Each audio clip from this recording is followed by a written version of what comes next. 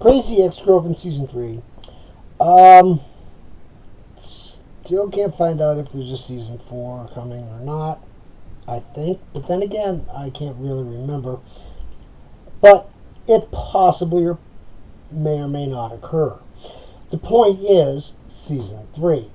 13 episodes. Um, some of the music numbers, I mean, there's only a couple that were really, really good.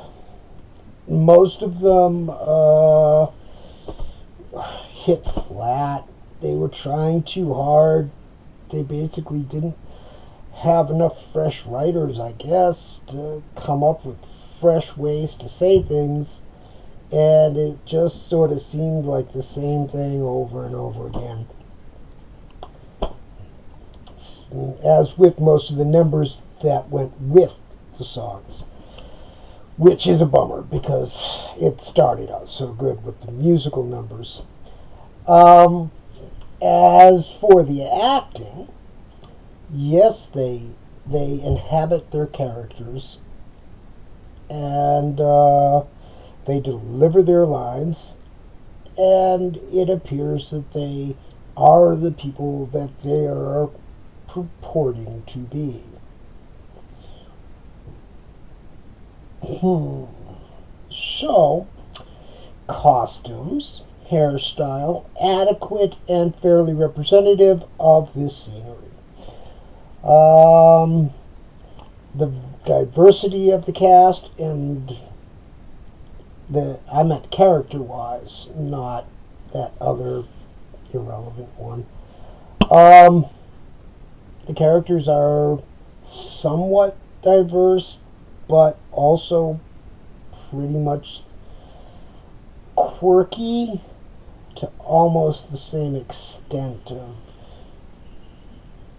desperation, which is part of the magic of the show. So it has that, um, and it has a suspenseful season finale, which means the end is oh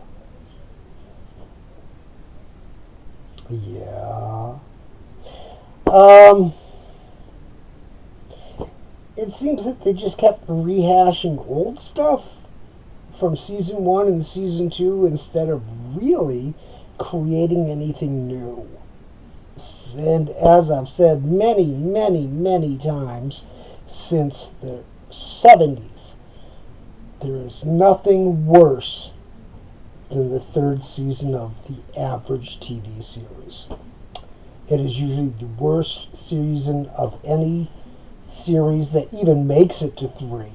There's very few exceptions. There are always exceptions because nothing is absolute except death. But it is what it is. Definitely say watch it, but it it it's pray for season four.